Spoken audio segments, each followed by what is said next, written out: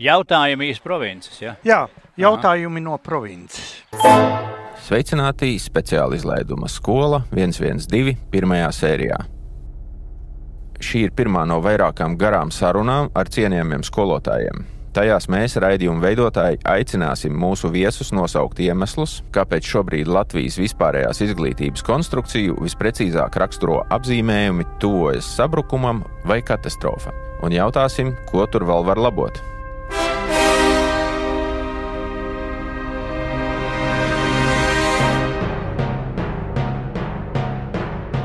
Tā saucamajos pamatstraumas mēdījos bieži un virspusīgi apgrābstītās tēmas skolu slēgšana, apkures izmaksas, skolotāju algas un arotbiedrību šantāža ir tas netīrais ūdens vannā, kuru mēs šeit mūsu sarunās neduļķosim. Mēs gribam runāt par mūsuprāt būtisko. Ko, kā un kas māca mūsu skolā? Kur tajā netīrajā ūdenī pazudis bērns? Mēs runāsim par to kaitējumu, ko mūsu pašu rokām ievēlētā vara jau otro gadu desmitu nodara skolotājiem un bērniem, veicot ar tiem ideoloģiski pielādētus sociālos eksperimentus, kas tiek vāji maskēti zem dažādu reformu nosaukumiem. Piemēram, nu jau morāli bankrotējusī programma Skola 2.0.3.0. Pirmajā speciāla izlaiduma sērijas sarunā ar Andreju Mūrnieku dzirdēsiet. Es negribu arī teikt, ka pilnīgi visi tie, kas strādāja skolā 2030, viņi ir kaut kādi apzināti kaitnieki. Viņi vienkārši sekoja tai paradigmai, kas nāca no rietumiem, bet viņa jau ir novecojusi. Ja? Arī kompetenci izglītības e, rezultāti, ja kāda viņi ir citā zemēs, e, tad tie empiriski pētījumi parāda, ka viņi nevis palielina izglītības kvalitāti, bet samazina. Jā, oh, samazina. Tieši tā, samazina. Prieks dzirdēt. Bet, bet ne, nu tas, tā, tā ir tikai vienas puse. Skola 112.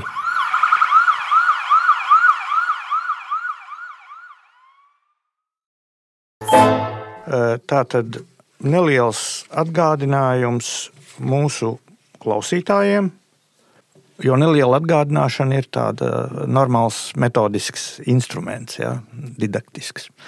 Mēs šajā raidījumā netaisam politiku politika ir jātaisa politiķiem. Viņiem ir jānāk ar idejām, piedāvājumiem, programmām. Mēs esam šeit nevis politiķu dēļ, bet klausītāju dēļ. Mūsu klausītāji ir arī vēlētāji, un mēs esam šeit iedomājušies, ka mēs palīdzam vēlētājiem saprast, kas notiek, lai viņi var uzdot politiķiem jautājumus, izvirzīt prasības un pēc tam pieņemt kaut kādus lēmumus attiecībā par to, ko viņiem piedāvā.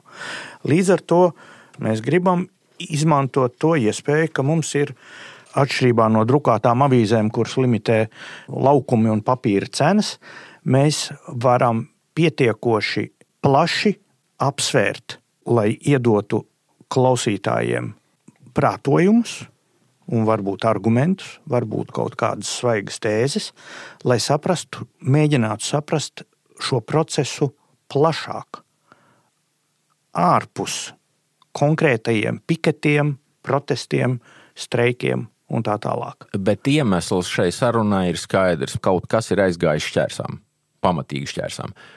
Kur, kāpēc? Tas ir iemesls, kāpēc mēs šo sarunu uzsākam. Ja? Mēs jūtam neapmierinātību, jūtam apjukumu, pie kam no visiem procesa dalībniekiem. Neapmierinātība un apjukums ir procesa darbiniekos, proti, pedagogos, ir apjukums un neapmierinātība saņemošajā pusē, vecākos, un galu galā milzīga putrošanās ir redzama šī visa procesa atbildīgos organizatoros, proti, politiskajā vidē. Un šāda putra parasti ir nu, nelaimes priekšvēstnesis. Ir jāmēģina no viena gala kaut kā pašķetināt, paskalināt, izkristalizēt, tikt pie kaut kādiem atbalsta punktiem, lai katrs no mums var tikt pie tādas vai citādas skaidrības. Un līdz ar to mūsu uh, iecerē ir šeit, eh, studijā, aicināt cilvēkus, kuri var pietiekoši plaši un tai pašā laikā pamatoti dot mums šos atbalsta punktus turpmākai domāšanai. Un tas ir, tas ir iemesls, kāpēc mums studijā šodien ir mūsu viesis, kurš ir nu, izglītības un kultūras lietās faktiski nu, tā, es, es gribētu teikt, teorētiķis. Ja? Nu, nodarbojas. Nu, arī praktiķis. Jā, un arī praktiķis. Ja? Tā kā. Ar jautājumu? Jā, varbūt es, es tu sāc ar. Jā, es ļoti ceru, ka lielākā daļa no klausītājiem, kas šo te dzird un klausās, viņi zina, kas ir Andrejs Mūrnieks. Bet, ja nu gadījumā ir kāds cilvēks, kurš nezina, kas ir Andrejs Mūrnieks, kāds Andrejam Mūrniekam sakars ar pedagoģiju, pieredzi, amati, gadi, filmas, lomas? Nu, pedagogs, mūziķis, kultūra vēstures pētnieks, lektors. Nu, tā varētu turpināt. Bet nu, pedagogs cik ilgi? No nu, augstskolā vismaz 24 gadus, skolā sākumā 15 gadus, un pēdējais posms burtiski beidzās pirms pusgada. Es strādāju vienkāršā tehnikumā divus gadus, lai tā teikt pārbaudītu, vai tas, kā es domāju, ir patiesība par skolu. Tad beidzās tas bēdīgi, vai kāpēc pagātnes formā? Nē, man nepadzina, bet man neiedeva to jauniešu grupu, ar ko es gribēju strādāt. Un tad nu, es atradu iemeslu, kāpēc pagaidām pārtraukt šīs atti darba attiecības. Jā. Un es esmu manījis eh, internetā ierakstus par, eh, ja ne funkcionāru, tad administratīvām pozīcijām kaut kādā situācijā. Jā, nu, Latvijas pedagoga doma, tā ir biedrība, kas kādreiz bija daudz aktīvāka nekā tagad, kas apvieno dažādas skolotāju metod, eh, profesionālās biedrības. Šobrīd ir tā, ka biedrības ir pastāvīgākas un viņas tiec ir izsināt savas problēmas individuāli, piemēram, matemātikas skolotāji biedrība un tā tālāk. Un līdz ar to tāda nu, vienotības pedagoģa starpā varbūt nav tik liela kā kādreiz. Mhm. Bet uh, jūs tur vēl joprojām esat? Jā, jā, nu, jā. Mhm. Labi. Un par jūsu lomu skola 2030. Jā, tad, tad es esmu bijis eh, uzraudzības padomas loceklis bez atalgojuma un bez balss tiesībām, nu vismaz kādus divus gadus, eh, nu, kad likās, ka tā reforma projekta uh, teiksim, gaitu varēs kaut kādā veidā ietekmēt. Nu, izrādījās, ka nevar, nevarēja, un tad nu, nebija jēgas vairs atrasties šajā cēlajā vietā. Kuri gadi tie bija, kad, kad jūs bijāt? Nu, 17, 18. Andrej, kā sanāk tā, ka kopā sapulcējies daudz ļoti gudri cilvēku, viņiem ir kaudze visādu datu, viņiem ir neskaitāmas izglītības, viņiem ir liela amata ietekme, viņi gadiem raksta kaut kādu programmu un beigās ir tikai sliktāk. Kā tas tā iznāk? Kāpēc tā iznāk? Es negribētu teikt, ka galīgi sliktāk. Mēs esam no viena grāva tā, tā kā otrā veļamies. Ja? Es nesaku, ka iepriekšējā kārtība, kāda bija izglītībā, varēja palikt ilgi. Tāpēc, ka mainās mentalitāte skolēnu, mainās kultūras e, fons e, un vērtības. Līdz ar to e, reforma kā tāda ir nepieciešama. Kāpēc? Tāpēc, ka skolēni pāriet no, nu, teikt, no reālās vidas, jā, lielāko daļu savas dzīves pavada virtuālajā vidē. Jā, šī problēma kaut kādā veidā jārē, jā, jārisina. Uh, otra lieta ir tas informācijas daudzums, kas veļas pār skolēnu, ja, un jāatrod kaut kādi veidi, kā ar to tikt galā. Un trešais, ja pagātnes pedagoģijas uzdevums bija uh, tā teikt, mazināt skolēnu sliktās tieksmes un atraisīt vai veicināt labās, tad tagad ir pilnīgi cits. Mūsu problēma ir cita. Mums jāatrod jebkura tieksme vai vēlme, kas skolēnā ir, lai viņa aktivizētu un ieinteresētu jebkurā virzienā. Un tad uz šīs vēlmes teikt, brauktu vai uh, turētu kaut kādu vilni un, un, un attīstītu to skolēnu. Kāpēc tas tā ir? Di, divi faktori. Pirmais faktors, es jau minēju, tas ir tās informācijas daudzveidība. Un otra lieta ir, protams, nu, pārprasta brīvība vai visatļautība. Un rezultātā mēs nonākam pie absolūtas garlaicības. Mūsu uzdevums ir ieinteresēt skolēnu. Un līdz ar to kaut kādā veidā padarīt izglītību, nu, ja teikt, slapjāku, ne tik sausu, ne tik akadēmisku, ir pamatots. Šādā, šādā ziņā es esmu reformu piekritējis. Jautājums, kādā veidā to darīt un kā nepazaudēt, tā teikt, nu, arī to, kas nāk no pagātnes, kultūras vērtības un tam līdzīgas lietas, par kurām mēs noteikti runāsim vēl. Mm. Bet uh, šis sadalījums, skola, ģimene, sabiedrība, šobrīd izskatās tā, ka šo reformu uzdevums ir dakterēt sabiedrību, vai nu skriet līdzi un piemēroties sabiedrībai, vai dakterēt? Ne, nekāds tāds mērķis tā reforma nav stādījusi nekad. Viņa stādījusi mērķi piemēroties, absolūti piemēroties tam, kas notiek. Un tas ir tāds fundamentāls filozofisks nu, jautājums. Vai mēs mācām bērnus, lai viņi pielāgotos videi, vai mēs mācām, gatavojam radošus vides izmainītājus, transformētājus. Ja? Šai gadījumā viennozīmīgi. Ko, ko viņi dara? Viņi Kā, kāds ir plāns tajā? Nu, pielāgot skolēnu jaunajiem izaicinājumiem un tikai punkts. Lai viņš kļūst par tādu pašu patērētāju, ja, kāds viņš jau šobrīd ir. Bet e, šim, šim pamatu uzstādījumam vēl jāliek ceturto vidi klāt. Ja, tad pilnīgi pareizi skola, skolēns, e, nu, ģimene, skola, skolēns ģimene, sabiedrība, un tas ir viens Tas ir viens bloks, kas, kur, kurā vairāk vai mazāk varbūt mēs varam atrast vienotību. Un pretējais, pretējā puse un nospiedošā puse tā ir masu kultūra un virtuālā vide. Tās ir divas realitātes, starp kurām notiek faktiski cīņa. Bet programma tika, tika uzrakstīta un pieņemsim ar domu, lai bērni kļūst vai jaunie cilvēki kļūst piemērotāki vidē. Jā. Vai to uzdevumu viņi ir sasniegusi? Līdz galam nē. Līdz galam nē, bet vismaz tajā, tajā virzienā ir mēģināts kaut ko darīt. Nav mēģināts darīt citās lietās, citās, citās, citos tajos, šajās dimensijās, par kurām tad tūlīt runāsim. Jo dažas no šīm lietām, ko, kas varētu mūs glābt, ja, nu, viņas, viņas mainīt ir daudz vieglāk nekā slēgt skolas vai, vai palielināt skolotājiem algas. Par skolu 2030 vēlmi palīdzēt izveidot šo veiksmīgāku patērētāju sabiedrības. Brīnišķīgo nākotnes cilvēku.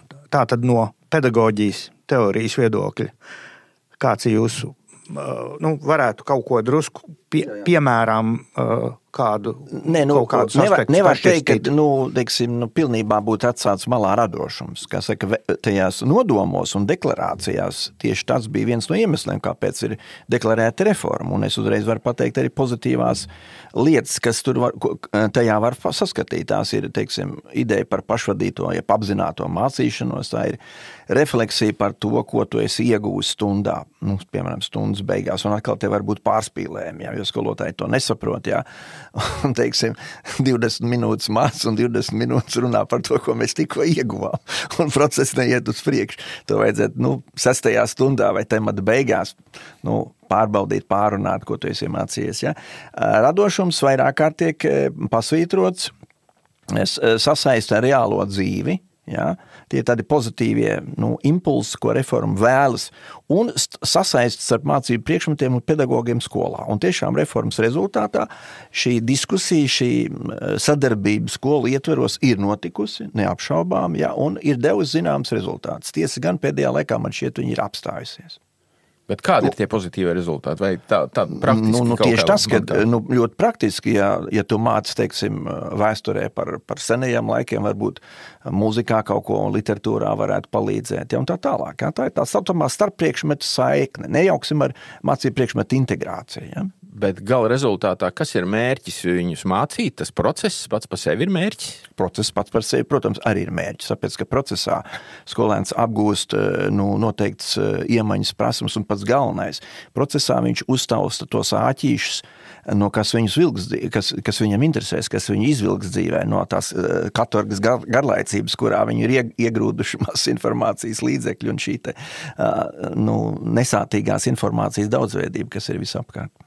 Viņiem gan droši vien šķiet, ka viņi tieši otrādi, ka tā garlaicība, garlaicība ir skolā. Jā, tieši baidos, ka skolēniem tieši tas tā. tieši. Ļo, ļoti pareizi jūs uztvērāt. Man bija gadījums skolā, kurā es strādāju, un es rādu Gaudī, teiksim, arhitektūru un ideju, jā, un, un, un skolniece, kas tur ir bijusi, viņš saka, skolotāji, jūs rādat tik skaistas bildītas te, jā, un stāstat, bet es tur biju reāli. Tur nekā nav. Tur ir pilnīga garlaicība, jā.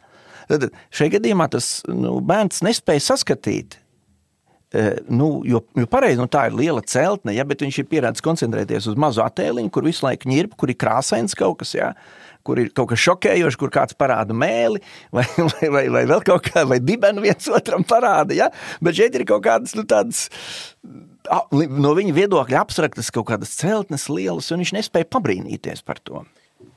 Bet tā tad vēlreiz. Tajā programmā vai dokumentos ir uzrakstītas visādas brīnišķīgas lietas, un tur, tur lasi, un tur praktiski visam var piekrist. Tas ir tāda, tāda ne, nejauka sajūta, ka tur tik ļoti viss tā gludi. Bet vai tas strādā? Un patiesībā jautājums, kāpēc tas nestrādā? Kāpēc tas nestrādā? Tieši tas ir pareizais jautājums. Un tur ir, nu, tag, tagad mēs varam ķerties tā teikt, vērsim pie ragiem. Ja? Pirmkārt, jau uh, satura, izglītības satura veido konkrēti cilvēki. Eksperta izvēle ir problēma numur viens. Tieši uh, Latvijas mūsu konkrēto protams. šo. Jā. Jā, pomprē, Tā, tas, ko konkrēto. vecos laikos sauc par mācību programmu. Jā, mā, nu, ka, kas rada mācību programmu, mācību grāmatas, jā, un, un interesi par šo projektu bija ļoti liela. Uz viņu pieteicās 640 cilvēki, ļoti Uz dažādi. rakstīšanu. Nu, uz piedalīšanos e- ekspertu statusiem un visiem tiem cilvēkiem, kas to Tātad visu skolo, darīs. skolotāja vide bija ieinteresēta. Nu, ne tikai skolotāju vidē, ir augstā. Es mēģināju pierunāt dažādas mācību, uh, augstskolu mācību spēkus, piemēram, Hariju Tumanu, tur nu, vēl kādus es, es aicināju. Pats pieteicos savus studentus, aicināju bijušos, kas ir skolotāji iesaistīties. Ja? Un no tiem tika izvēlēti 147 cilvēki. Eh, Nu, es nepaņēmu šo, šobrīd atbild, eh, nu, saraksti ar, ar, ar ministriju. Nu, pēc kādiem kritērijiem jūs izvēlēties? Nu, smieklīgā atbilde bija tā, ka dators izvēlējās.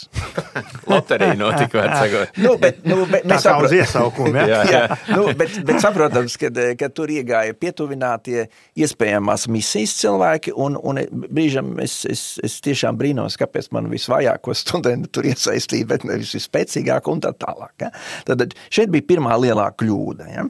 Otrā lielā kļūda ir tā, ka eh, tā, tas projekts eh, def, nu, proponēja, ka būs pieejas maiņa, metodikas maiņa, ka mēs papildināsim saturu, mēs to saturu bagātināsim jauniem paņēmieniem. Jā. Protams, ka digitālā pratība, tur būs sadarbības eh, attīstīšana, grupu darbs, starppriekšmetu saite un visas labās lietas. Jā.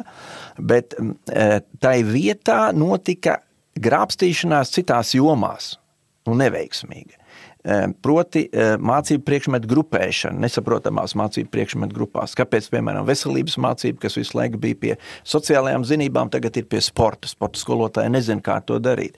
Kāpēc latviešu valoda, kas ir valsts valoda, ir kopējā valoda, nu, svešvalodu blokā? Piln, tur ir pilnīgi cita metodika. Ja? Tas ir principiāli nepareizi. Igaunijā, kur arī notikuši šī kompetenci pieeja, mēs redzam igauņu valodu un literatūru kā atsevišķu mācību priekšmetus pāri visam. Tur, tas ir pat pilnīgi kaut kas cits nekā svešvalodas. Runājot par grāmatām, jā, jo īstenībā ne jau standarts ietekmē to, kas notiek skolā. Jā, tas ir tāds no izglītības vadības dokuments. Grāmata ir izšķirošais aspekts, un šeit mums ir kādas problēmas. Problēmas ir tajā, ka mm, projektā tas nebija paredzēts arī nemaz radīt grāmatas, jā, bet, nu, protams, ka viņas top, bet eh, te ir divas problēmas. Mazās, nu, dažas mažās izdevniecības cenšas nu, izmantot šo situāciju, ka materiālu nav vai viņi ļoti maz, un uzcept ātri, ātri grāmatas, kas ir ļoti nekvalitīvas. Es ļoti, momentā varu piesaukt vien, vien šādu izdevniecības skolas vārdus. Savukārt lielās izdevniecības, nu mums īstenībā ir viena lielais monopolis zvaigzne, ļoti labi strādā metodiski, bet ļoti lēni, un tās grāmatas, nu, viņas top. Nu, es varu pateikt, ka viņas top, bet ļoti lēnām. Viņas nu, reforma ir kā jau, jau tā kā pabeigta, mēs jau nu, visu esam izdarījuši, bet faktiski nekas vēl nav mm, īsti pats sācies. Ja? Tās grāmatas arī jāizmēģina, pēc tam jāaprobē, nu, kā viņas darbojas, un tikai tad varētu pateikt, o, mēs esam nonākuši pie tās ideālās grāmatas. Tas, ka ir vairākas grāmatas, tas nebūtu tas galvenais grēks. Grēks ir tajā, vai viņas ir kvalitatīvas. Bet kurš izvēlās, kā mācīt? Skolotājs. Atbildība ir pārlikt uz skolotāja pleciem, un viņš netiek galā ar šo atbildību. Tāpēc, kad materiālu, it kā ir daudz materiālu internetā, bet nu, viņas jāizdrukā, viņas ir jāapgūst. Ja? Grāmatu nav, bet nu, grāmatas būtu tas nu, pats galvenais. Ja? Nu, skolēnam ir grāmatas, skolotājs zina, kur, kur iet un kā strādāt, ja viņam nu, mazāk darbi. ir. Mēs, protams, varētu atstāt to šajā situācijā, ka skolotājs rada mācību saturu pats, bet tad jādubulto, ja ne jātrīskāršo skolotāju algas. Ja. Tad, mēs, un tad ir eh, milzīga nu, tā, tā konkurence skolotāju vietām. Tur aiziet paši labākie, gudrākie cilvēki, un viņi spēj radīt savu mācību saturu un, un, un brīnišķīgi to pasniegt. Mums ir pilnīgi situācija cita. Eh, cilvēki bēg no skolas. Ja? Mācību grāmata, laba mācību grāmata varētu būt tas, kas teiksim, aizvieto varbūt skolotāju eh, nu, metodiskās problēmas vai nepilnīgas izglītības trūkums, bet viņu nav pagaidām, vai viņi ir ļoti fragmentāri. Tad, ja, ja tā pavisam ciniski, mums ir kaut kāda negatīvā atlase pedagoģijā uh mhm. -huh. un pilnīga dekompensācija mācību materiālos. Jā. Un skaidrs, ka ne katrs, ne tuvu katrs skolotājs ir spējīgs to izdarīt. Kur tu vēl gatavs, jau, bet spējīgs to izdarīt? Ne, un, un, ja un viņš ir notiek? spējīgs, kāpēc viņš nestrādā pa konsultantu par 50 eiro stundā?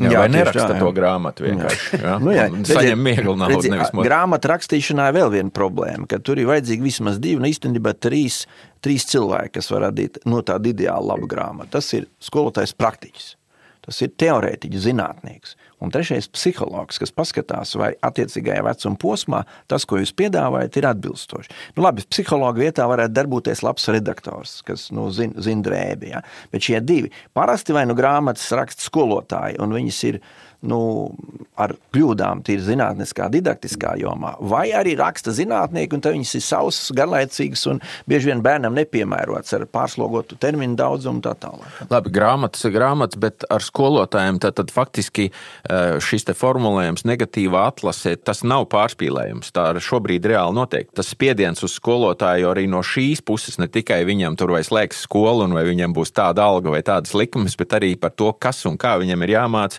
ir vienkārši vienkārši palielinājies. Plus tam visam tajās uh, problēmu punktos skolotājiem ir jāņem kaut kādi priekšmeti klāt, aizvien priekš viņa uh, dīvaināki.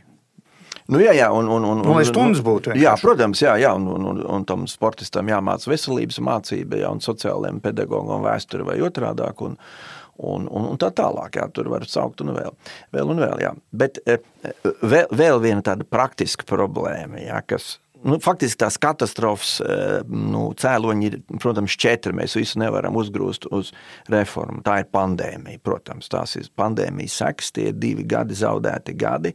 Nu, ļoti smagi iet ar tiem bērniem, kas to ir piedzīvojuši. Otra lieta ir šī eh, mācīšanās fragmentācija, ka skolotājs neaptver, ko īsti kādā secībā mācīt, un virspusējums kā tāds. Ja? Trešā lieta ir mākslīgais intelekts bet atkal par to droši vien atsevišķi būtu varētu runāt. Un ceturtā lieta ir vietāla runas skolā. Nu, patās 19. februārī, pāris dienas atpakaļ, Rišijs Sunaks nāca Lielbritānijas premjerministrs ar diezgan humoristisku priekšnesumu, jā, kurā, kurā laikā viņam zvanīja telefons, un, un viņš demonstrēja to, ka nu, tas traucē. Viņam traucē, jebkuram traucē, tas traucē skolā, un ir izdotas vadlīnijas, nu, valdības izdodas analīzes, diezgan īsi 12 lapas puses, kur ir uh, pateikts eh, vecākiem skolotājiem, skolēniem, ko darīt ar tāļruņiem. Un variācijas ir četras. Pirmā variācija ir telefons paliek mājās. Punkts. Viņš uz skolu neiet ar telefonu. Iespēja tāda pastāv. Otrs variants ir kaste pie skolas dežuranta vai kastes, ja, kur tiek ielikti tāļruņi, bet skolotājs, kad vajag šo tāļruņu, jo tāļruņu arī var izmantot mācību procesā, viņš aiziet pie šīs kastes un skolēni izdara to, kas ir vajadzīgs ar to tāļruņu, to kastu pēc tam noliek atpakaļ. Trešā pieeja – droša lokācija. Tas tāļrunis visu dienu atrodas tur, un neviens viņam nu, neiet viņam pakaļ. Skolēns dabū viņu, ka viņš iet ārā no, no, no, no, no skolas. Tas ir manas mazmeitas situācija, viņa ir 16 gadi, viņa mācās Lielbritānijā. Tas ir viņa skolas modelis. Un ceturtais modelis ir tāļrunis atrodas Somā, un viņš nedrīkst traucēt. Ne, viņi nedrīkst redzēt, ka viņš tur ir, un nedrīkst dzirdēt. Ja? Respektīvi, nu, viņš atrodas tam skolēnam, bet viņš netiek lietots ne tikai stundās, bet arī netiek lietots starpbrīdī. Labi, un ko viņi tā atrisinās? Nu, milzīgas lietas atrisinās. Jūs ne, nestādaties priekšā kādu postu vietāļu un atstāju uz mācību procesu. Ja pat viņš ir izslēgts, mana, mans piemērs, ja, viņš atrodas skolēnam uz galda. Tad, nu, zināt, tas ir zinātnisks pētījums, tas nav tikai mans novērojums. Ja? Eh, tad 15 minūtes vēl skolēns atrodas ar domu tur, tajā virtuālajā realitātē, kur viņš ir. Ja? Pat tad, ja viņš atrodas uz galda, viņš ir izslēgts, viņš it kā netiek lietots. Ja?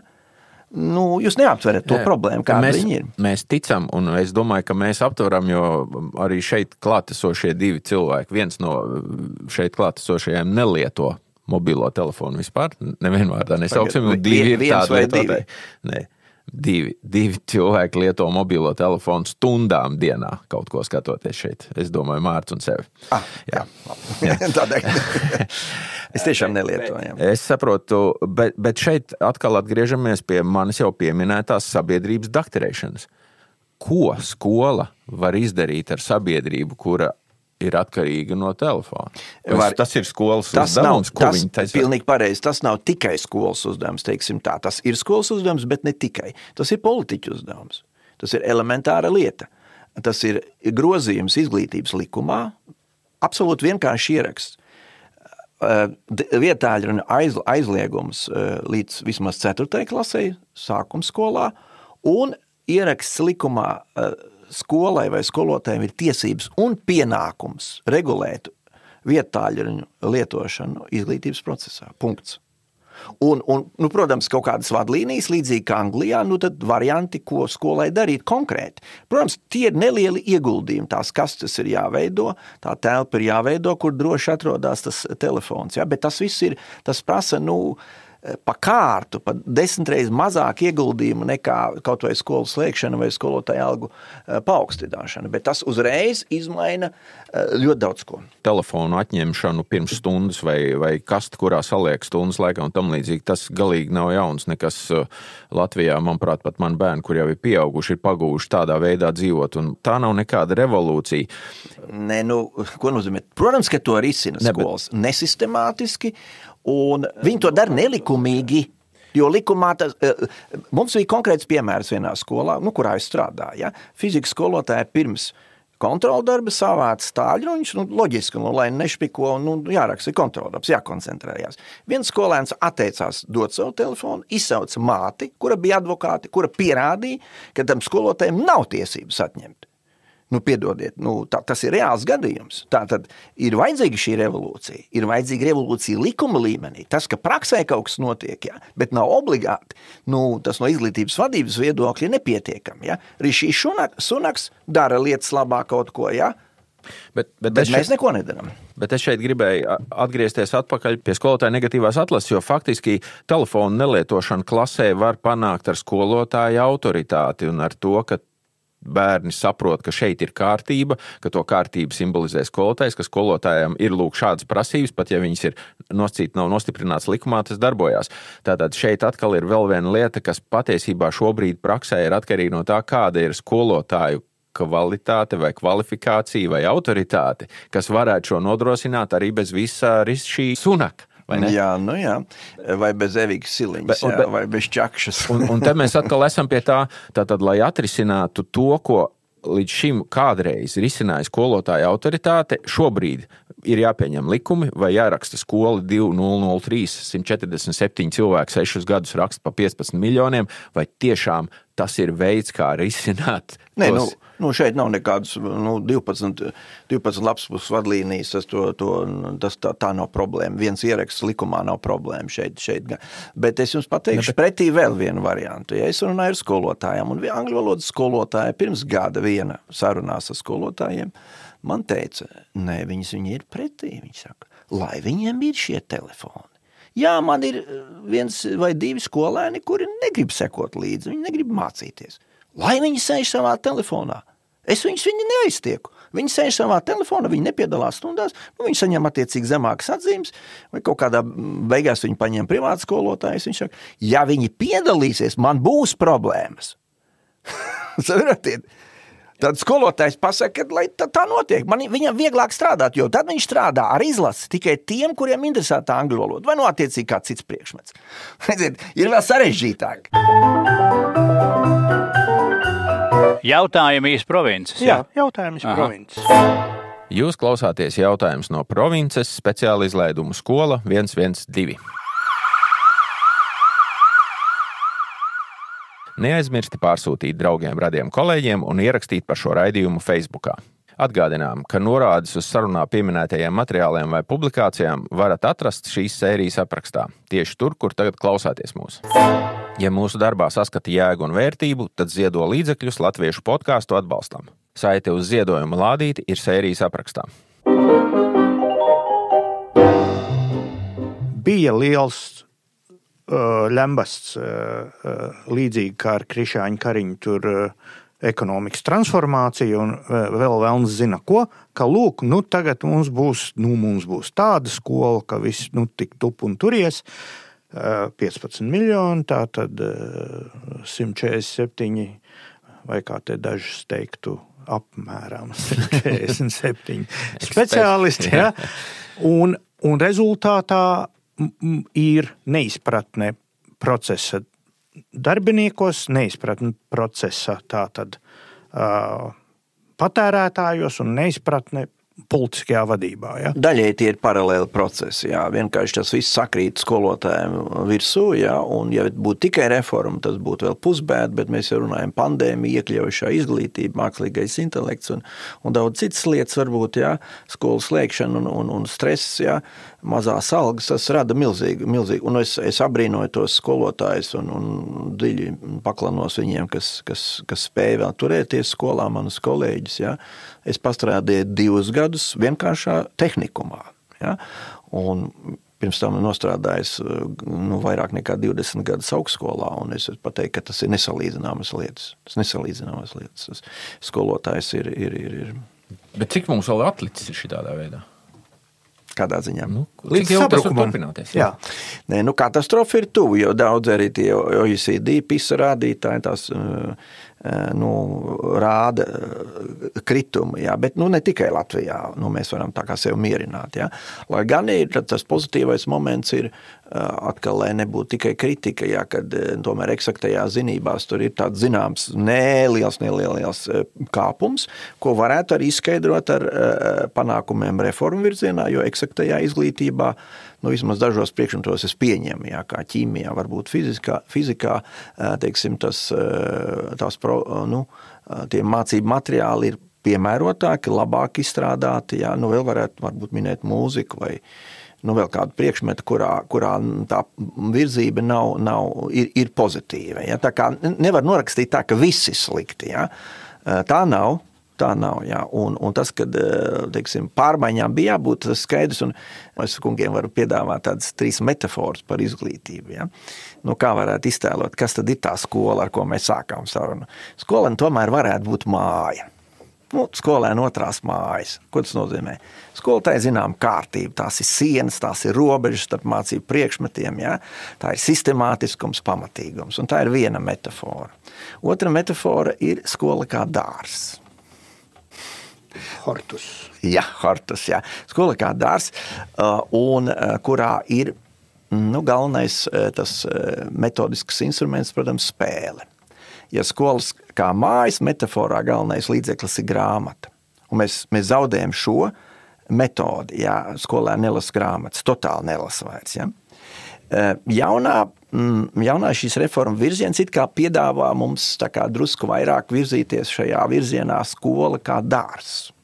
Bet nekonsekvents, jo tās, tās nu, materiāli, kas top, jā, viņi bieži vien nav tik radoši vai attraktīvi, lai varētu teikt, ka skolēniem būtu interesanti ar viņiem darboties. Ja? Un, protams, abas šīs metafāras var degradēt. Skola kā māja, tās degradācija, protams, ir cietums. Tur arī kārtība ir, bet tad beidzās ar dumpi. Un skola kā dārza metaforu var degradēt par purvu. Tur arī ir noslēpumi, tur ir tur viss kaut kas, bet tur ir haoss un tur nav ceļa. Ja, nu, trešā metāfora varētu būt skola kā ceļš kurā mēs mēģinām iesaistīt skolēnu. Tur tās ir ekskursijas, pārgājieni, tā, tā ir ceļošana laikā, pagātnē, tie ir ceļošana pie varoņiem, ja tas ir varoņu ceļš. Ja? Tad, tad nu, skola kā ceļš vai skola kā kuģis, kur, mēs kopīgi ceļojam uz kaut kādu noteiktu mērķi ar skolēniem. Tas, tas interesanti, ka tā pirmā metāfora mums atvelk atpakaļ pie viena mūsu mīļā Otto un Bismarka citāta. Tā, tad, Eh, ir. Ja valdība nav gatava būvēt skolas, tai jābūt gatavai būvēt cietums. Jā, jā nu tas, klasika, eh, tas jā. ir Fon Bismarkas. Vismaz viņam pierakstīts. Eh, bet es gribēju pie tās ceļa, varbūt, ja mēs varētu no mūsu klausītāju viedokļa. Ja, ja, jo es šaubos, vai, protams, gan jau arī procesa dalībnieki kādreiz pieslēgsies mūsu speciāla izlaidumam, tā, bet pa, pazīstot apmēram mūsu auditoriju, tur krietnes daudzums ir mana vecuma cilvēki, nu, plus mīnus cilvēki ar padomu skolas pieredzi. Ja. Un tajā laikā pakāpeniski no skolas kā nu, tāda izglītības un, un, un visa šitā instrumenta ļoti iezīmējās tur, kur nu, satiekot augstskolā tos savus grupas biedrus, kuri nākuši nu, ne no centra skolām, bet nu, no, no pārdaugos, no rajona. Viņiem, nu, kamēr mēs vienā valodā runāt, iemācījāmies, tur pusgads pagāja. Ja? Tā, tā izpratnes līmenis jau bija diezgan atšķirīgs. Runāju par 70. gadu vidu. Jo uh, viņu tā līnija skolā pasniegtā un pilnībā akceptētā bija tāda, ka pamatskola priekš tam, lai tiktu vidusskolā, vidusskola priekš tam, lai tiktu augstskolā. Augstskola priekš tam, lai tev nebūtu jāiet armijā, lai nebūtu jāiet uz zavodu, lai nebūtu jāiet kaut kādā netīrā darbā, nu tad daži aiziet par mazu naudiņu bet eh, kļūst par zinātņu kandidātiem un, un uh, inženieriem, tehnologiem, kuriem nu, dzīvo bada maizē, bet varbūt tad tur pēc tam izstartē un dabū, dabū dzīvokli, izstāv rindu un, un, un, un pat varbūt ja, dabū, dabū mašīnu. Ja. Ka, ka tas ceļš pēkšņi izrādās ir tāds, tad par kādu ceļu mēs tagad runājam šodien? Kas ir tās 20, 30 iezīmētais ceļš? Jā. Nu. Labi. labs, ļoti labs jautājums. Ir. Eh, es sākšu ar to, ka, eh, protams, ka visas šīs tre, eh, trīs metaforas var apmierināt. Skaidrs, kad mēs sākam ar dārzu. Kā sauc pirmskolas iestādes? Nu, bērnu dārsts. Bērnu dārsts. Kindergarten. jā, jā. Tad, nu, jā. Tad, tad viņas ir, kā teikt, papildinošie, komplementāri jālieto, protams, un šīs pieejas. Ja. Jautājums ir, vai jūs vispirms gribat uzcelt māju, lai pēc tam skolēns ap to veidot nu, dārzu, ja, nu, to, tā, ja, tā, atrast to skaistumu un dzīves aicinājumu. Vai jūs vispirms ievadat viņu šajā dārzā, cerot, ka aizraujoties ar dārza brīnumiem, viņš gal galā uzcēla savu zināšanu māju, tā teikt, pats, kas viņam vajadzīgs. Ja? Un, un kā šīs divas pieejas apvienot? Bet viņas tur abas, jūs uzskatāt, ka abas viņas tur ir tajā dokumentā? Nu, nē, taču, nu, nē, taču. Mēs, esam, mēs esam īsti, at, at, mēs esam gandrīz atteikušies no mājas metafors. Jā, jo, jo, nē, un arī, arī man šķiet uh, tas, kas uzreiz saraujās no zināšanām, kas viņam būtu vajadzīgas. Viņš nezina, ka viņam būtu vajadzīgas, jo viņam viņas nav vajadzīgas. Jā, cilvēks, jā. cilvēks mierīgi dzīvo savu dzīvi par tādu pīnu, nezinādams par. Jā, viņš, viņš ja viņu mēs atstājam tikai viņa paša teiksim, nu, izvēlē, ja viņš jau var neko neizvēlēties, un tad mēs iegūstam melnā darba darītāju, patērētāju un tā tālāk. Ja te ir tā, tā lieta, ka nu, pazaudējot tādu akadēmisku, labā, labā nozīmē, mēs neesam ieguvuši ar šī nu, tāda, nu, laba tā dārza, jeb spēles e, formu jā, izglītībā. Jo spēle jau arī kā tāda pamatmetoda dārzā, kuru mēs nu, spēlējamies, tā kā, jā, viņai jau ir divi komponenti. Tā ne tikai brīvība, Jo spēlē mēs iesaistāmies brīvi pēc savas gribas. Mēs nevaram viņu. Nu, bet spēle ir tikai spēle, spēle tikai tad, ja tā ir noteikumi. Bet tā ir pilnīgi pareizi. Bet otrs, otrs komponents, jā, kā Heizinga to mums pierāda, ir, protams, noteikumi. Jā, arī spēlē ir noteikumi. Jā. Bet tā ceļa dimensija, jā. Te ir arī liela problēma, jo, ja jūs domājat, ka vidusskolas standartā jūs atradīsiet kaut kādu mazāko mājienu, kad vidusskola sagādā augstskolē, sagatavo, tad mērķos šādu formulējumu nav tas iezīmētais ceļš tur nu, nav pasvītrots. Ja? Nu, tas nenozīmē, ka negatavos galīgi augstskolē, tas arī tā nebūs, ja? bet tajos formulējumos tur tā nebūs. Um, kur ir problēma? Problēma ir tajā, ka, ja tā, to, to, tā, tā, tā ceļa secību mēs teiksim, varētu agrākajos laikos diezgan skaidri iezīmēt. Nu, ja tu sāksi matemātikas skolā mācīties, to kļūst par augstskolā par tā, tad tu par matemātiķu kļūsti vai par zinātnieku vai par skolotāju. Un tas tev garantēs nu, teikt, iztiku visai, visam mūžam. Vai tu iespēji inženieru zinātņu jomu, tad tu būsi labs tur celtnieks. Ja? Mūsdienās ir tā, ka tas cilvēks nezina, kas viņam būs vajadzīgs. Jo, nu, pirmkārt, viņš var mainīt savu mītnes zemi. Ja? Viņš var aizbraukt citur strādāt. Ja, kas viņam tur būs vajadzīgs? Nu, kas to lai zina? Kādu nu, darbu viņš mums viņam vēl jāpalīdz visādi nezināt, maldinot viņu tur, apkopojot vēsturi sociālām zinībām un neko nemācot vispār. Mums, kas ir, jā, kas jā, ir mūsu nu, uzdevums? Nu, noturēt viņu stāvokli, ka viņš neko nezina līdz 19, 20 gadiem. Nu, tas, lai, tas ir sasniegums. jā, nu jā, bet nu skaidrs, ka tas nav tik vienkārši, jo kur tā problēma ir? Tā problēma ir tāda, ka no vienas puses mums jānodrošina viņa ar tādām nu, kaut cik pamatīgām pamatzināšanām Nu, kur, kur, ka, to, kas būs vajadzīgs visās darba jomās. Ja? Un otra lieta ir, tad, kad, kad viņai nu, tomēr ir jāparāda šis ceļš, kā Mārcis pareizi teica, ja? nu, kā tu vari tālāk virzīties. Ja? Kā, nu, lai vismaz palīdzētu viņam to ceļu atrast. Ja? Nu, šai ziņā vidusskolā ir mēģināts šo ceļu iezīmēt ar tā saucamo eh, nu, tā diezgan sarežģīto vairāku um, pakāpju kursu sistēma. Ir kaut kāds pamatkurs, tad ir pirmais padziļinājums, otrais padziļinājums. Nu, ja tu izvēlējies tos padziļinājumus, tad nu, loģiski, ka tu virzies jau tajā virzienā, ka tu kļūsi vai nu par mākslinieku, vai par literātu, vai par uh, vēsturnieku, vai par matemātiķu. Ja. Um, tā, tāda lieta tā ir, bet nu, šī sistēma ir diezgan smagnēja, manuprāt, Un viņa līdz galam nav nodrošināta, protams, ar resursiem. Jā, jo viena lieta ir uzrakstīt standartu un pat programmu uzrakstīt, jā, bet cita lieta ir radīt nu, tādu mācību materiālu kopumu. Jā, varbūt pat ne grāmatu, bet kas ir attraktīva. Nu, no vienas puses akadēmiski nu, pamatīga un, un pietiekama, ja? bet arī interesanta un attraktīva. Ja? Tas, tas ir lielais izaicinājums. Bet tas nav tikai Latvijā, tas ir visā, visā pasaulē.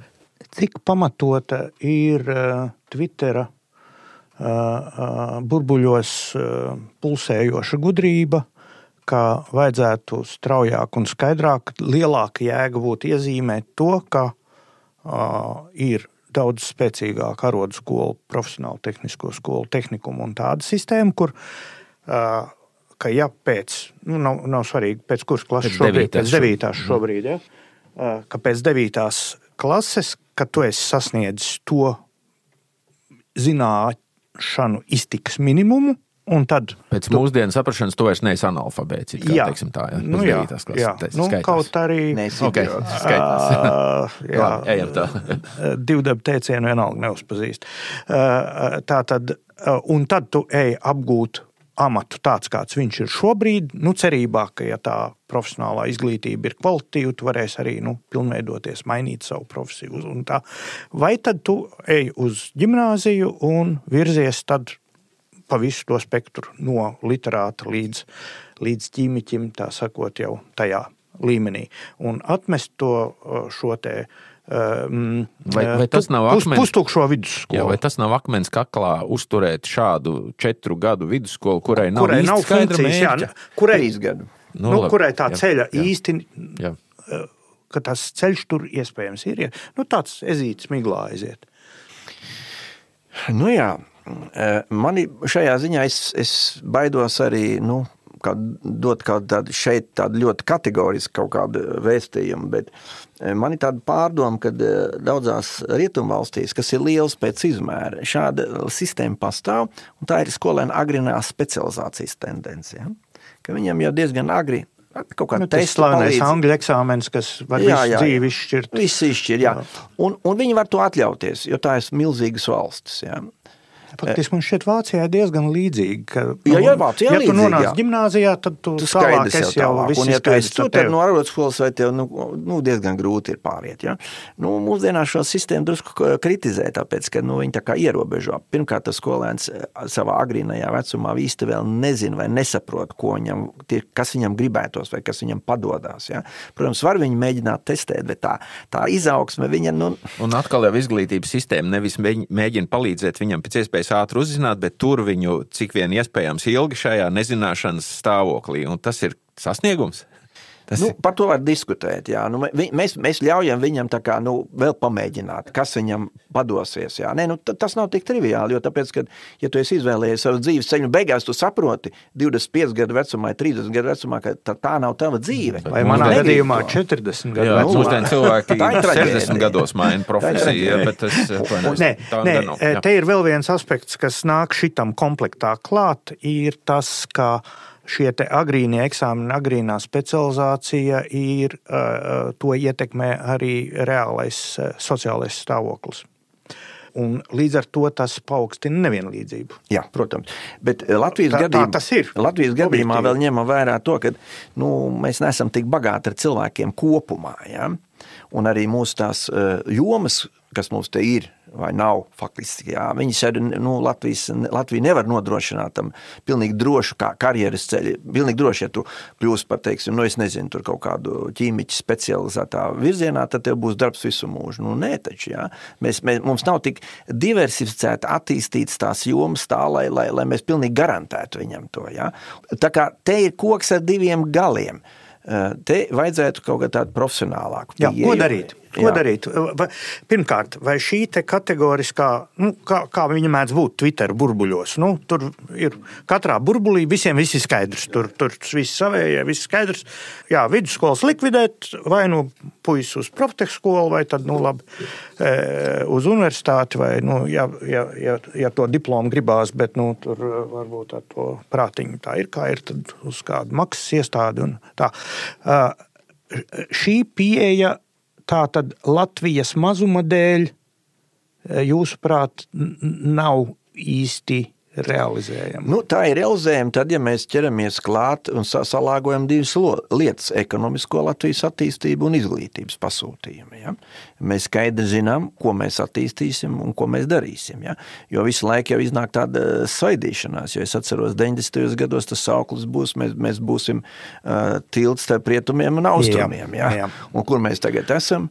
Mēs esam nogriezti, mēs tūlīt esam augstākā ar priekšā un, un, un mēs būsim, nu, uh, Eh, mēs nebūsim tas tilts starp rietumiem un austrumiem, visticamāk. Mēs jā. būsim borderlandi.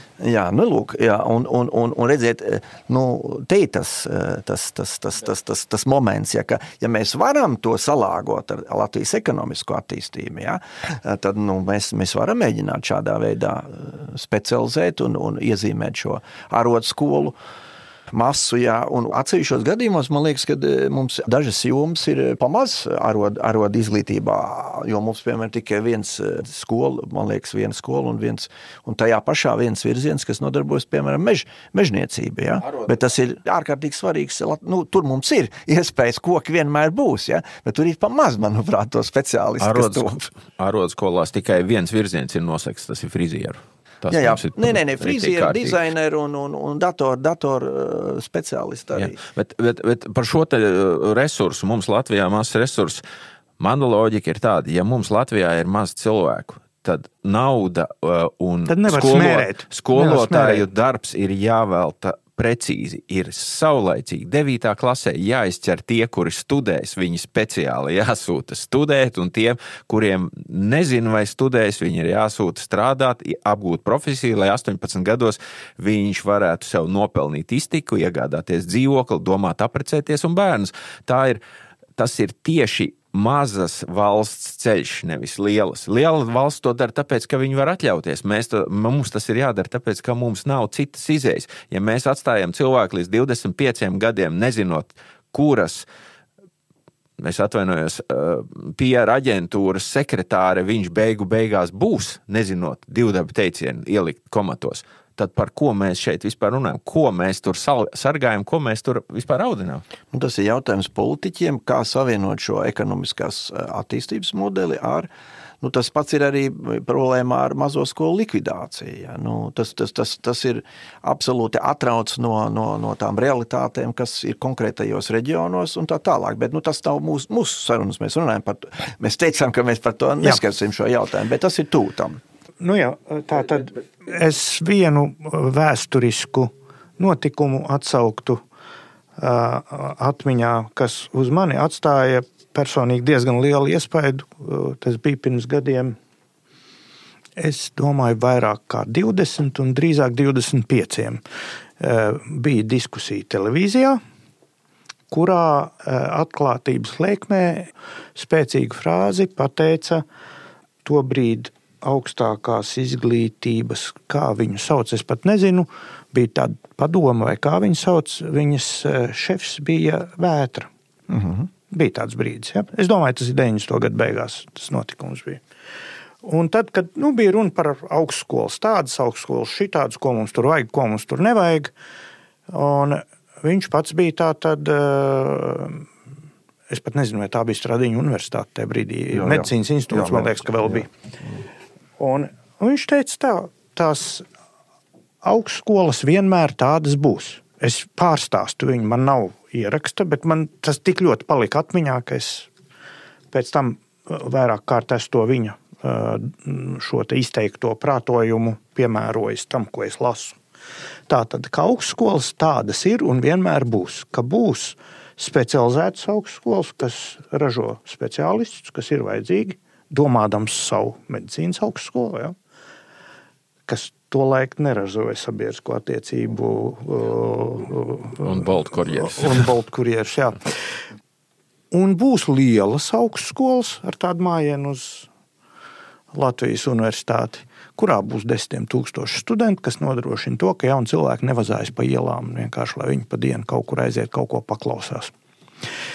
Uh, un man ik pa brīžam es atsaucu atmiņā šo te viņa atklātības brīdi, kad ir darīšana ar to ārkārtīgi mazo noslodzi, ar kuru tos, tos gadus pavada tie bakalauri un maģistri.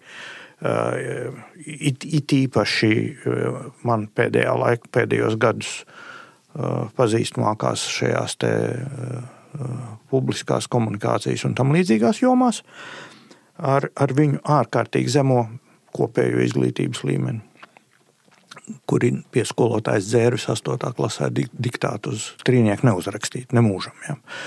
Un to, ka šajā sistēmā ir milzīgs resursu ieguldījums, mēs skatāmies tās, tos budžetus, to augstskolu. Ja.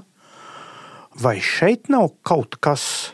Nu, šeit mēs patiesībā to visu varam arī uz skolām attiecināt. Jo nu, tas jau ir kājas, jau tā sistēma jau Jā. ir ļoti līdzīga. Nē, un tas, ka augstskolā, augstskolā daži tūkstoši cilvēku grozās pa augstskolu, un tagad viņi izsprūk ārā, viņi brēc par brīvu Palestīnu. Ja? Mm -hmm. Tā, nu, Tas, jā, tas, ko mēs redzam, ja? nu, jā, nu, nu, kā jebkura sistēma, tad ideoloģijas apkalpošanai ir nepieciešams zināms e, cilvēku skaits. Un, protams, ka viņi tiek arī mūsdienās e, gatavoti. Ja? Bet mm, tās, tās kopējās tendences, lūk, šīs pretrunas starp to, vai gatavot ārodu izglītībai, vai dot maksimāli plašu vispārējo to izglītības jomu. Jautājums, nu, cik dziļi viņam dot to izglītību. Ja? Nu, es mēģināju, es esmu tā, nu, vairāk vai mazāk pamatoti izvēri savā monogrāfijā izglītības mērķi kultūras paradigmu maiņās. Ja? Tad, redziet, mēs esam tādā paradigmu maiņas periodā, ja? kurā viss šīs problēmas sāsinās. Proti, ja tā pavisam globāli skatās, ka mēs šobrīd esam paradigmas posmā, kurā galvenā ideja ir centrā ir cilvēks kurš ir aizmirsis par pasauli sev apkārt un par to, ka ir kaut kas augstāks par viņu. Nu, par augstākajām vērtībām, transcendento un tā tālāk. Un tas, manuprāt, pēc manas vēstures koncepcijas liecina par krīzi. Jā, parasti šie periodi, kad, kad cilvēks ir nostādīts teikt, visuma centrā kā vienīgais un, kritērijs un vērtība, jā, tas ir renesants, tas ir apgaismības posms, jā, un, un šobrīd arī lūk, tas liecina par zināmu nevis, nevis kulmināciju kultūras, bet kultūras noslēgumu. Un jautājums ir, kas ir galvenā ideja, kas vienos cilvēci nu, nākošajā paradigmā. Ja? Iespējams, ka tā būs dabas aizsardzības vai taupīšanas paradigma, kas būs kolosālā kontrastā ar to, ko mēs šobrīd mācām skolās. Mēs, māc, mēs gatavojam patērētāju, kurš pēc iespējas vairāk sēž internetā, virtuālajā realitātē, pērk visādas krāmas, braukā pa pasauli un bauda dzīvi. Ja? Bet nu, tie planētas resursi ir tādi, kādi viņi ir. Ja? Un, nu, man, man tāds aizdoms, ka tā nākošā paradigma būs nedaudz citādāka. Līdz ar to tad, lūk, šis, šī orientācija uz taupību, resursu um, nu, nešķērdēšanu, ko mēs tikko iesākām, kas pavadīja Juru un Mārču, uh, tā tad uh, domās, ja, kad, kad viņi šeit, šeit būs jāizvērš. Ja, tad, tad būs jādomā, nu, ko, ko tieši mācīt un cik izšķērdīgi, vai cik ātri un cik pamatīgi, cik, cik precīzi orientēt skolēnus tajā nākošajā karjeras ceļā. Ja. Bet te nu vietā būtu mūsu raidījumā ik pa brīžam uzturētā, uzturētais lozungs par ciešamo kārtu. Nu, ka tiks pārveidota un vajadzētu tikt izveidotai. Kurš to darīs? Darītājs, kurš ir darītājs šim? Nu, uh, skolas 20, 30 vadības grupa iedos šajā gadījumā paradigmu. Kurš rakstīs skolu 20, 50 un ar ko jā, tas jā. atšķirsies no 20, jā, 30? Tas, jā. tas ir labs jautājums. Jā. Jā. Kas rakstīs 20, jo no kļūdām jāmācās. Uh, nu, es negribu arī teikt, ka pilnīgi visi tie, kas strādāja skolu 2030, viņi ir kaut kādi apzināti kaitnieki. Viņi vienkārši sekoja tai paradigmai, kas nāca no rietumiem, bet viņa jau ir novecojusi. Ja? Arī kompetenci izglītības rezultāti, ja, kāda viņi ir citās zemēs, tad tie empiriski pētījumi parāda, ka viņi nevis nevis palielina izglītības kvalitāti, bet samazina. Jā, oh, samazina. Tieši tā, samazina. Jā. Prieks dzirdēt. Bet, bet ne, nu tas, tā, tā ir tikai vienas puse. Tie formālie rādītāji ir laimīgāk kopumā. Jā, to, tas tieši ir, tā precīzi, uzvar, jā. jā. Tieši tā, jo, jo, jo, jo, jo tās, acīm redzot, tā, tā, tā idejas doma bija tāda ok, mēs nedaudz pa, pa, pazemināsim akadēmiskās prasības, lai cilvēks labāk spētu izvēlēties savu dzīves ceļu, lai viņš būtu ieinteresētāks dzīvot, jā, lai viņš būtu laimīgāks. Ja? Vai nokārtojas centralizēto eksāmenu ar 10%? Un viņš ir nokārtojis tāpat kā tas, kas ir 99. Principā, nu labi, ne jā, tāpat, bet viņš ir, nokār... nu, viņš ir turpat nokļuvis nu, jā. dzīvē. Bet eh, problēma nav triviāla. Tā, nu, mēs varam par to ironizēt, bet nu, tu, tur, tur es saskatu šajā aspektā to, to reformu sāli. Bet problēma ir tajā, kad viņa nedod. Viņa nedod šo laimīgumu sajūtu, tāpēc, ka par laimi, mīlestību, draudzību, par ciešanām un nāvi nav neviena vārda šajos standartos. Tieši tās lietas, kas varētu pacelt nu, to nu, dārza pieeju, vai kā gribat šo otro metaforu, ka mēs mācām dzīvot cilvēkam, ne tik daudz zināšanas, viņas tur nav. Bet tā, ir tāda tā, tā, tā triviāla atpakaļ pie Mārča. Kas, ka, kur ir? Kas, kas uztaisīs? Kas uzzīmēs? Kas uzrakstīs, kas, Kam kas iemācīs. Labi, pieņemsim, ka mēs nevaram nosaukt vārdā. Nē, nu, i... Kāds izskatās tas uh, cilvēks? Uzzīmēsim, lai mēs viņu varam sagaidīt. Uh, Aivaru gaidot. Es neuzzīmēšu cilvēku, bet es uzzīmēšu varbūt procesu, un tas arī manā monogrāfijā ir apmēram ieskicēts. Jā? Jo parasti reformas taisa nu, divos veidos. Vai nu taisa no augšas, un te ir tas mūsu variants, saicina kaut kādus ekspertus pēc nesaprotamiem kritērijiem viņi rada, un tad pārējie mokās vai mēģina uzlabot. uzlabot uzlabot to, kas ir. Un otra lieta ir nu, revolūcija vai nu, vienalga kaut kāds eh, nu, kustība no apakšas, kad nu, mēs esam neapmierināti un mēs, mēs vēlamies brīvību un mēs vēlamies kaut ko citu. Un, un, un, un tā. Parasti uz drupām tas notiek. Nu, diemžēl, no apakš, jā. jā. Nu, Pieeja ir tāda, ka vajadzētu uh, iesa, nu, abas šīs puses savienot. Protams, ka ir vajadzīgi eksperti, protams, ir vajadzīga ārzemju pieredze, bet ir vajadzīgi praktiķi, ir vajadzīgi skolotāji, kas tiešām nu, nu, prot labi strādāt un forši strādāt. Un, protams, ka viņus jāizvēlās ļoti rūpīgi, un tas ir galvenais nākošās reformas, un te ir galvenais jautājums, kas būs tie eksperti, kas būs iesaistītie cilvēki. Tagad, bet jūs teicāt no ārzemēm, tas tā kā varjagi? Mēs paši nevaram šo Nē, nē, nu, vajag ņemt vērā ārzemju pieredzi. Nu, mēs esam maza valsts, mums jau nav tik daudz resursu, lai izpētītu pilnīgi visas fineses. Fines Kurš no ārvalstu speciālistiem ierakstīs un pacels latviešu valodu tā kā igauņu virs vispārējā? Nu, Igaunis kāds. Jā, nu, piemēram, Igaunis. Nu, skaidrs, atkal, mēs tur arī palikām. okay. Skaidrs, tad, tad Igauni būs rakstījis mums 2-0-5-0. Tas ir labākais variants. Es piekrītu, ka šī pārmērīgā skatīšanās uz rietumiem, jau ir radījusi slikti saks, jo mēs neapdomīgi pārņemam to, kas jau izmēģināts un parādījis problēmas. Ja? Mēs neapdomīgi krītam iekšā un, un mēs, mēs tā kā mētājamies no viena grāvja otrā. Ja? No pārāk savs akadēmisks uz tādu pārāk brīvu plānu, un tas jau vairāk kārt ir bijis. Biju bijuši tādas eh, eksperimenti jau šo, šajos 30 gados, jau ir bijuši. Vai nu ļoti brīvi, tādi standarta vadlīnijas, tad atkal nē, nu, skaidrs centralizētā eksaminācija kā galvenais vilcējs spēks vai ne visai tai izglītības lietai, ja, un tagad atkal nu, kaut kas pa vidu, jā. Tā kā tāda vi, viņveidīgs process notiek, jā. Tas arī jāsaprot, jā. Tas, nu, ir tā pedagoģijas mode vai pedagoģijas, teiksim, to, piemēram, tas pats kompetenci jēdziens, kas diezgan labi varbūt skan svešvalodās, bet lietojuši valodā viņš ir nelietojams, jo kompetence var būt viena. Tu esi kompetents kaut kādā vienā uh, darbībā. Īstenībā, nu, zem vārda kompetence slēpjas pavisam vienkārši vārdiņš prasme. Tā ir uh, nu, teorija vai pieeja, kas attīsta prasmes, kas arī nav slikti ne tikai teorētiski zināšanas, arī prasmes. Jā. Bet skaidrs, ka viņi nedod kompetenci, nedod kompetenci kā tādu, kādu mēs iedomājamies latviešu valodā, ka tas skolēns beidzot, teiksim, būs ļoti kompetents, bet to visās jomās. Skaidrs, ka nē, visticamāk, tas būs eh, ļoti virspusējs skats uz lietām. Jā. Bet, nu, ka, ka prasmes jāattīst vairāk, tas skaidrs ir. Jā. Un tas, ka skolēni arī tajā mūsdienu kultūras situācijā labāk pieņem eh, kaut ko darbībā, nevis uh, zināšanas un, un, un tikai lasot kaut ko, tas arī skaidrs, ka viņi diezgan labi uzstājās, viņi labi taisa prezentācijas, viņi labprāt dodas kaut ko pētīt, viņi labi, uz, viņi labi runā, viņi slikti raksta un viņi nesaprot izlasīt to.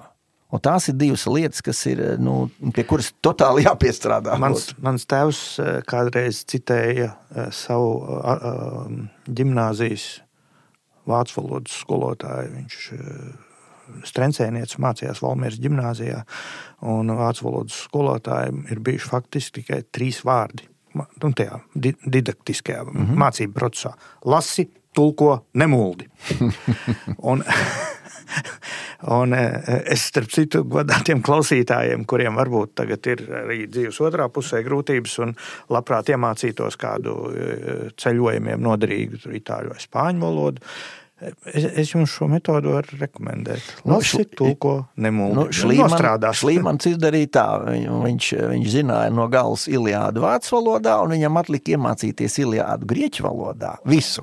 Jā. Jā, un, un tad viņš zināja tālāk, šo grieķu valodu. Tad tālāk jau bija vienkārši. Vai es to spējīgs mūsdienu jaunietis cilvēks, tas jā, karš, karš ruķīši un mežvecs lasa no špikeriem. Jautājums ir droši vien par to, ka vai eh, mēs neesam apmaldījušies eh, tajos mūsdienu jauniešos, cerot uh, uz papīra uzrakstot, ka viņi visi būs šlīmani, un beig beigās mēs ne viņiem liekam mācīties ne vāciski, ne grieķiski, un, un, un viņš tur var izvēlēties kaut ko un kaut kādas kompetences, un beigās tas nebeidzās ne ar ko. Valodas skolēni apgūst labprāt, mums ir cita problēma. Skolās starpbrīžos daudz runā angļu valodā, latviešu valoda pazūd. Ja? Savā, savā starpā tas ir nu, tāda, ja, labais stils, vai, vai nu, tas ir. Nu, Tāda, kādreiz bija kārkla vācietība, ja, tāda kārkla angli, anglicisms. Ja, un ir pat tā, ka tu izsauc skolēnu, ja, un viņš tagad tur stostās un kaut ko nu, mēģinām sarunāt un, un kaut ko padiskutēt. Un viņš saka, angļu valodā es varētu pateikt. Es, es latviski, nu tā kā es esmu aizmirsis, es nemāku vairs. Ja? Nu, labi, saki angliski, bet angliski arī viņš nevar pateikt. Ja? Viņš saka, te tas, tas, tas grāvis, mēs pazaudējam savu nacionālo identitāti. Mēs gatavojam darba spēku svešai zemē. Nu, tas ir globalizācijas aspekts. Jautājums, kā ar to tik galā, ja? kā viņus saistīt šeit Latvijā. Ja?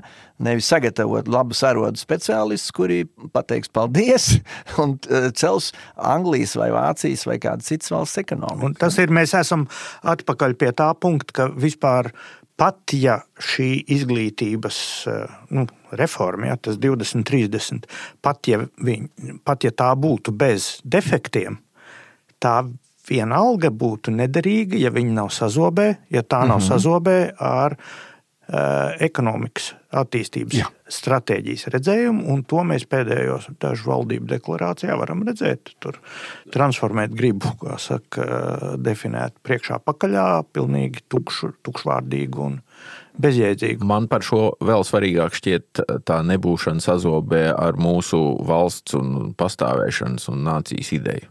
Jā. šī valodas un vēstures pazaudēšana. Tas, ko, tas ir vienkārši tas, ko arī sākumā teicu, satversmes preambulu. Viņi nav nesazobē ar reali, reālo realitāti, ne ar mūsu ideju kaut ko augstāko. Mums bija ar lielām pūlēm mūzikas mācību priekšmetā nu, jācīnās šajā projektā. Jā, nu, es šajā gadījumā nesaku par sevi, jā, bet, bet par cilvēkiem, kurus es zinu, kuri, kuri cīnījās par to, lai iekļautu standartā vārdu dziesmu svētki. Ar ļoti lielu negribēšanu beigās viņi tur ir.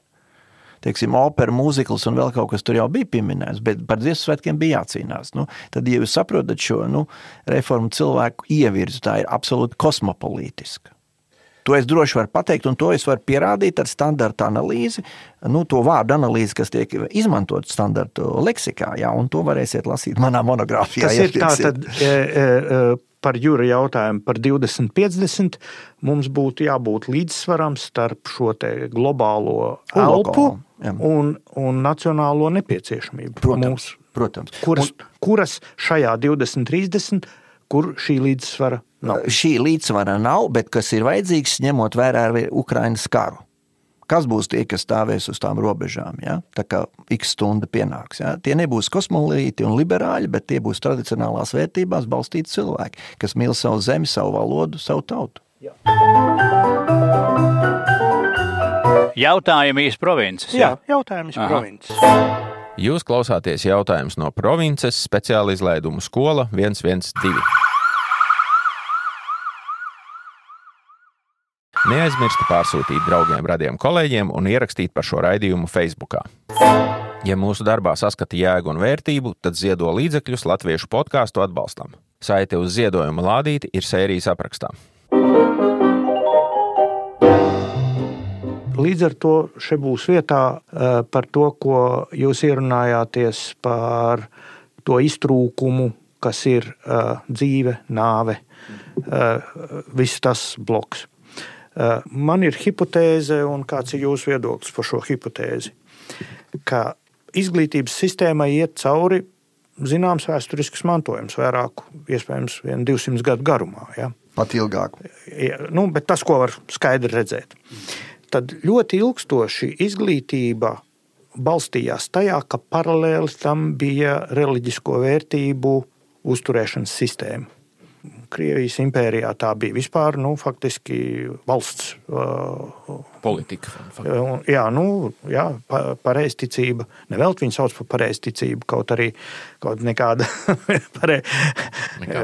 zinātniski būtu jāsauc par Ortodoks. ortodoksiem. Ja? Un pēc tam Latvijas republikā tā milzīgā preferences, kas bija evaņģēliski luteriskai, ietekmei uz, uz visu. Ja? Uz šo brīdi, uz šo brīdi pašā izglītības sistēmā nekādas sasaistes ar šāda veida ētiskajām kategorijām nav. Un līdz ar to tur ir tukšums, kurš aizpildās Nu, kaut kā. Veiksim, tā kā jā, jānoprecizē. Neliela sazobe ir vismaz sākuma sākum skolā un mazajās klasītēs. Reliģijas mācība ir, ir iespējama, ja vecāki to grib. Ētikas elementi ir kaut kādā veidā iemuģināti sociālajās zinībās, bet ētika kā atsevišķa mācība priekšmets, kāds tas bija 2000. gados, jā, es pats izstrādāju šī, šī mācību priekšmetu saturu, jā, tāda nav vairs. Nav arī mācību priekšmetu filozofija, nav mācību priekšmetu reliģiju vēsture. Es biju tas, kas viņu esmu radījis 2000. gados. Tur bija standarts, atsevišķi standarts reliģiju vēsturē. Ja? Tagad viss tas ir nogriezts. Līdz ar to lūk, šī dimensija ir atstāta, pilnīgi piekrīt Mārcim, novārtā, lielā mērā atstāta novērtā. Ir standartos nelielas tur tādas kristietība vienreiz pieminēta, uh, brāļa draugu kustība nav pieminēta, Bībele nav pieminēta, bet nu, kaut kas par reliģijām tur uh, ir, jā, bet nepietiekami. Jā. Bet tas ir arī jā, loģiski, es... jo, jo tajā kultūras periodā, kur centrā ir cilvēks, tā kā, kā dievam nav vietas. Jā. Bet parasti tas jaunais, jaunā paradigma pēc manas teorijas kultūrā sākas kā reiz ar jaunām attiecībām vai jaunām idejām par transcendento. Pēc tam seko pasaules apgūšana šīs, šīs idejas, tā teikt, kontekstā, un beigās cilvēks atgriežas pie sevis. Kas tad tad esmu es šajā pasaulē. Un parasti tas ir noslēgums. Cikla noslēgums sākas atkal ar kaut kādu jaunu, vienojošu ideju. Jautājums, kad, kas būs šī ideja jā, nu, nākotnē? Jā. Jā, es, es varbūt iebakstīšu, lai klausītājiem neiznāk priekšstats, ka es te uh, esmu rūpējis par ticības mācību atgriešanu. Es pats esmu nekriškons, uh, pilnīgs un audzināts pat kā ateists, bet, bet uh, tas neatceļ šo te vajadzību. Ja reiz ir izglītības sistēma, kura balstījās tādā kārtībā, ka viņai paralēli bija kaut kur ētisko kaut kādu standartu un sistēmu sistēmas uzturēšana, to atmetot un atstājot to brīvu, iestājas nu, reāli ļaunas sociālas sekas. Vieta tukša nepaliek. Nepaliek. Viņa nekad. aizpildās ar māņiem pārsvarā. Jā, un, un, un putrām, un, un, un, uh, un līdz ar to jautājums, kā to izdarīt, lai tas uh, nebūtu pretrunā ar uh, gal galā ar, ar satversmi, ar uh, baznīcas šķir, šķirtību no valsts un, un, un uh, nu, uh, šiem te uh, nu, postrenesanses uzstādījumiem, kuros, kuros mūsu pašreizējā valsts ir dibināta. Nē, nu skaidrs, ka mēs nevaram nevienam uzspiest viņa pārliecību, bet mēs varam piedāvāt. Un tas ir tāds nu, izglītotības viens no rādītājiem, ka cilvēki ir e, kompetenti šajā jomā, ētisko un reliģisko vērtību jomā, jo ņemsim vērā, ka joprojām trīs ceturdaļas, varbūt pat četras piekdaļas planētas iedzīvotāji ir reliģiozi. Reliģiozitātes līmenis kāpj islāma zemēs, pats par sevi arī Indijā. Ja? Tā kā nu, no, no, no šīm lietām vairoties, vai viņas tā teikt mazvērtējot, ja?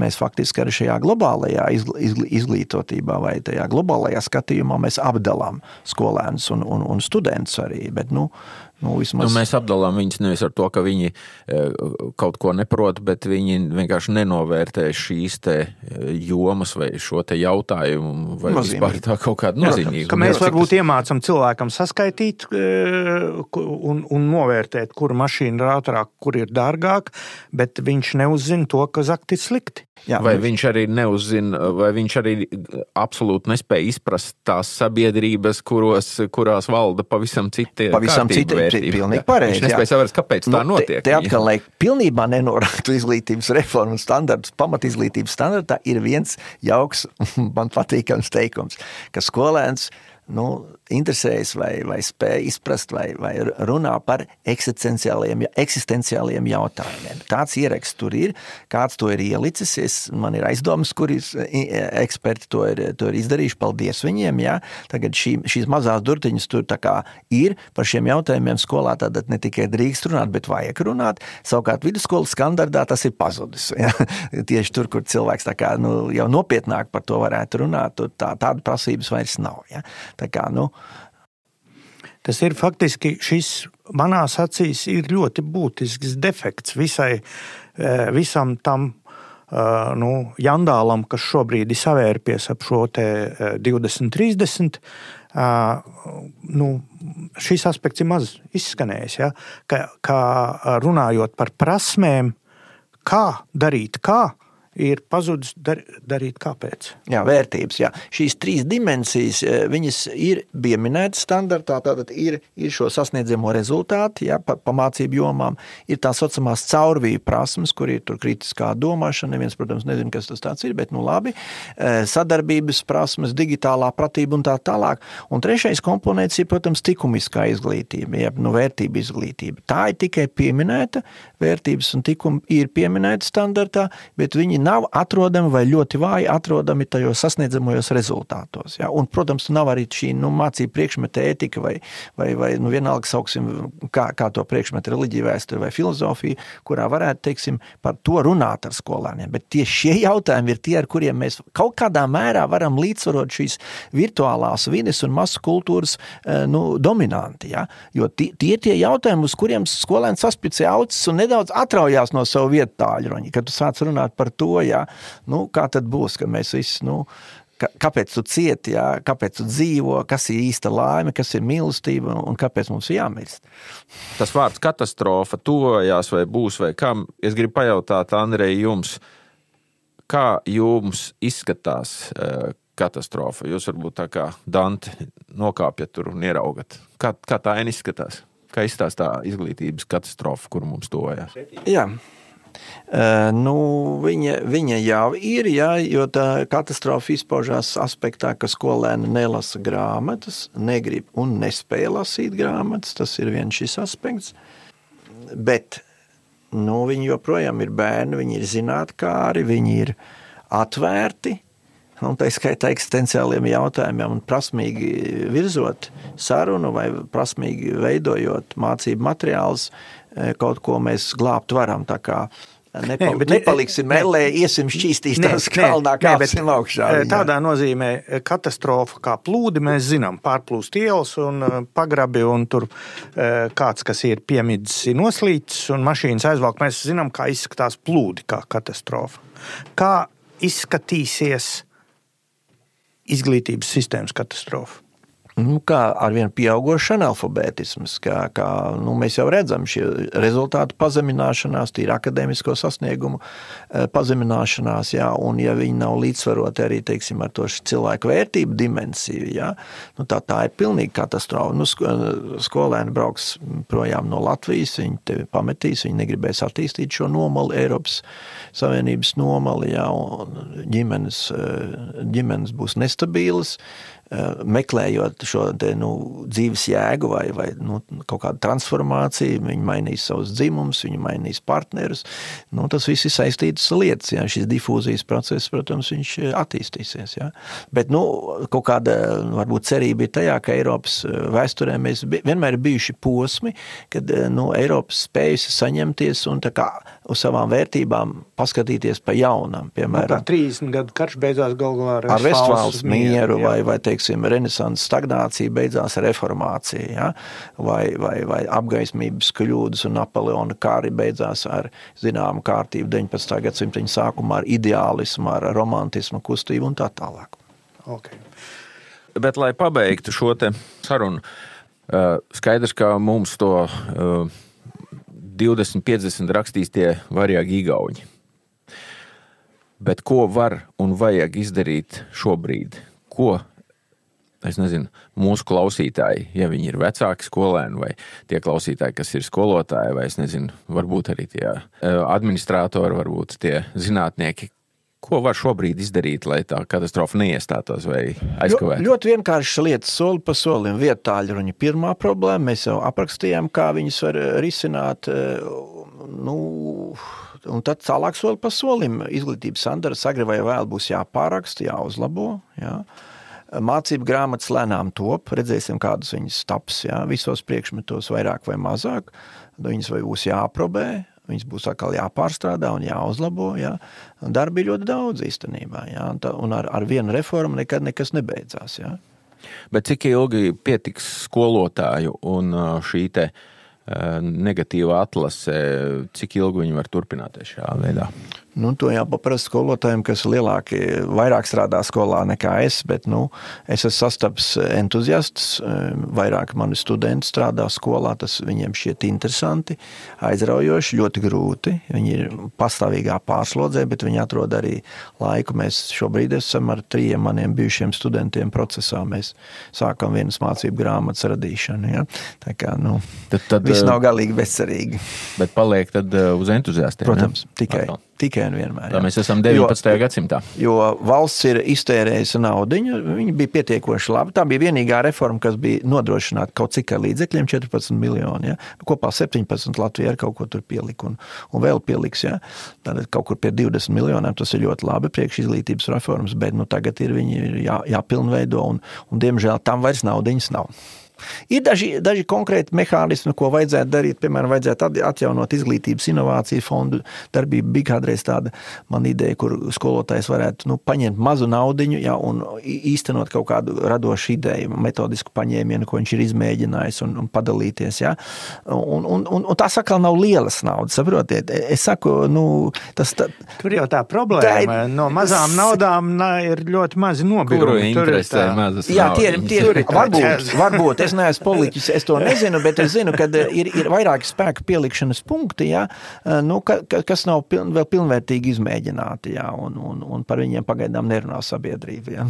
Vārdu sakot, Andrej, jūs esat nelabojums optimists. Protams. Nu, jābūt tādam, citādāk nevar strādāt ar bērniem, ar skolotājiem, ar skolniekiem.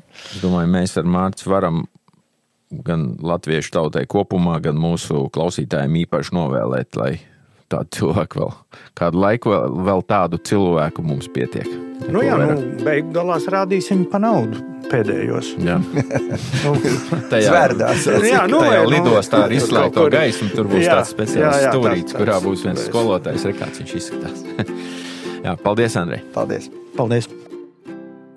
Paldies, ka noklausījāties šo sēriju līdz galam. Acīm redzot, dzirdētais tev šķiet svarīgs vai interesants. Neaizmirst ielikt saiti uz šo sēriju Facebook un pastāstīt saviem radiem draugiem un kolēģiem par dzirdēto. Tiekamies pēc nedēļas nākamajā speciāla izlaiduma skola 112 sērijā - saruna ar diviem matemātikas skolotājiem. Pēc jaunā projekta matemātikā ir izdotas vidusskolai eh, divas grāmatas, kas nav grāmatas, kas ir vienkārši divas tēmas, bet katra atsevišķā grāmatā. Un katra grāmata maksā 14 eiro. Opā. Jā. Un, un eh, viņas ir vajadzīgas desmitiem tūkstošu. Nu, restīvi, ja, ja, ja mēs vēlamies mācīt pēc šīs te jaunās tātad, programmas, tad katram, nu, it kā katram skolēnam vajadzētu savu grāmatu, bet vēlreiz tā nav grāmata, tā ir tēma. Tad jā, viņam vajadzēs jā. daudz šīs grāmatas. Jā. Jā. Un katra maksā 14 eiro. Bet Un kāpēc cik- tas nebija projektā? Kāpēc Un- un, bet tie mēs paši par autori liela simtiem- vārdā Nu, seši par skaitļiem. Nu, domāju, noteikti. Un seši ciparu skaitļi pareizināti ar desmit, sāk dot septiņu ciparu skaitļus. Nu, bet mēs, protams, nezinām, vai visas skolas to iepirks. Tas jau arī tas jau skolai nav teiksim, tāds uzdevums. Viņa iepirkt pienākums nav, jā. jā, nu, Jā. tas tāds Bet nu, ļoti daudz lieka līdzekļu tagad ir vienkārši izsviest vējā ar to.